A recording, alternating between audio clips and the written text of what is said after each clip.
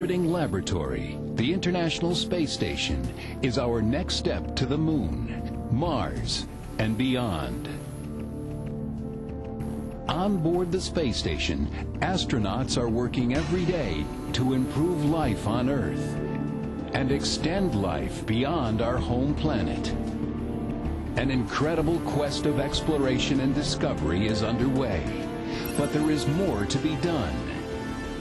NASA has a plan.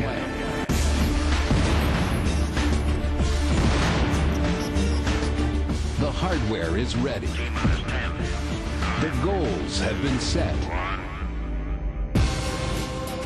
Each member of this crew came to NASA as an individual, but the years of working and training together have forged them into one team. The crew will fly Space Shuttle Endeavour to the International Space Station. The revitalized shuttle boasts a new power transfer system that can tap into the space station's power and stay connected with the station longer than ever before. That power breathes crucial life into the shuttle's mission timeline, enabling four scheduled spacewalks. The mission is challenging. We make it look easy, but in reality, sending someone outside in a spacesuit is not a trivial endeavor. The rewards beyond imagination. I can't think of anything more important to all of us than our kids and their future. Barbara Morgan is the first in a series of educator astronauts that will fly in space. A backup to Christa McAuliffe in 1986. After Challenger, she returned to the classroom to teach again.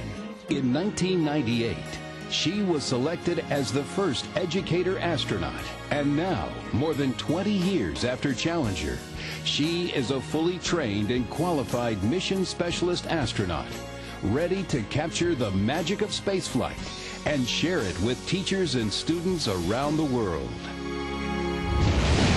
This summer, see learning see discovery, see teamwork, and see yourself in a whole new light.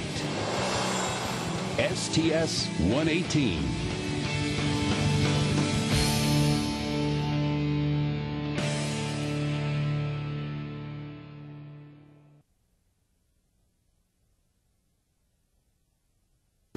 been able to do and focus mainly on SAS and robotics ops and how they play with each other.